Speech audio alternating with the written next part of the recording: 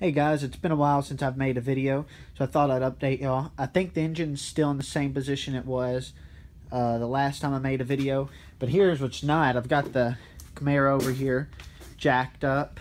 Um, I've already taken out the radiator, condenser, fans, and stuff like that. We have a pretty good gap up there. I just finished taking off the water pump there. I'm working on the harmonic balancer. Two of the bolts came out real easy, the other one's being a pain, so still about to do that in a minute. In here, I'll show y'all the parts. I think I found, I think we found where the um, coolant was leaking in the car. You see right there, on top there, you see one of the bolts was missing there, and you can actually see, like if I push down here, well, you could whenever it was sitting upright, but a little bit of coolant was just laying right there where my finger is. So I think that's probably where it was leaking before. So that's nice. The radiator was tested and it's good. It's actually a fairly new looking radiator there, the guy said.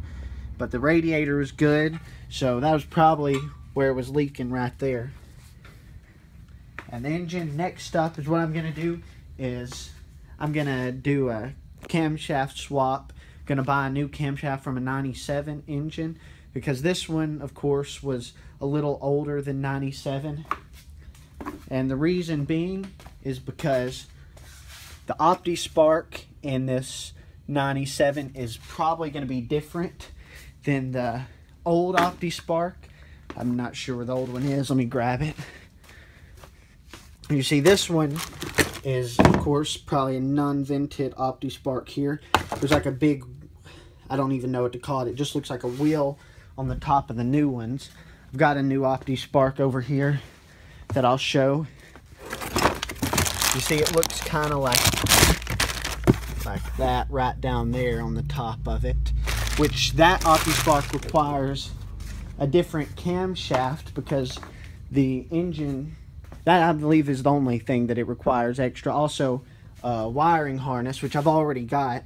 So, so I'll just be putting a newer camshaft and lifters of course in the new engine so that then it'll be basically just like putting uh, this engine right back in just new so that's hopefully all that we have to do there I may have missed something there if you know of something that I told that isn't true please comment it so that I'll know before we do all this but according to research that should be all I have to do to, to make it a vented OptiSpark timing's the same from everything I found but that's it so far, guys. Probably I'll update y'all within the next week or so again. And hopefully, uh, the old engine will be out there.